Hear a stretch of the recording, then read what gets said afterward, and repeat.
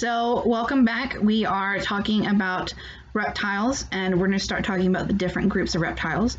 Um, so there's five. There's um, snakes, lizards, turtles, crocodilians, and then something called a tuatara. And we're actually going to talk about those first because they're very unique.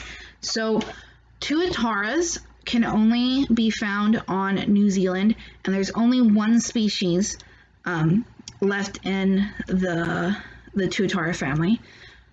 So this is this is a tuatara skull, and at some point I will edit in a picture of a tuatara because I don't have one on me.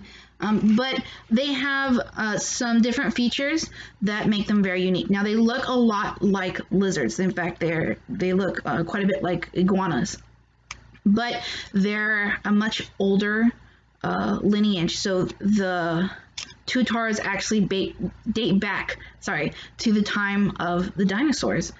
Um, and so they're kind of primitive. So for example, their their teeth, you can kind of see the ridges. This is this is not a real skull, by the way. This is a replica.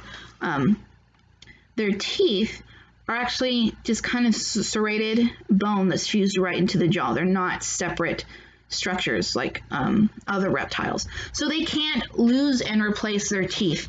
Um, as the tuatara gets older and their teeth wear down, they have to find softer prey. And then eventually they're basically just using uh, their jawbone to, to chew. They also have something that makes them a little bit different from lizards, these buck teeth up front too that are unique to them. Now, what makes the tuataras really special is they have a third eye. So it's not like an eyeball sitting in the middle of their forehead. What they have is at the top of their, their head up top, they have a very primitive eye. Um, and it's really only visible on young tuataras. Eventually, there's kind of a scale that covers it and it's no longer visible. But what they use uh, that third eye for is still being studied. It's unknown, but a couple of things that are thought um, is that it can basically help tell light and dark, which helps tuataras find uh, better places to either find shade or be in the sun and soak up uh, more of the sun rays uh, which is really important for reptile because as we talked about in the first vid video, reptiles are ectothermic. So that helps them warm up faster, which means they are able to um, evade predators sooner and go look for food.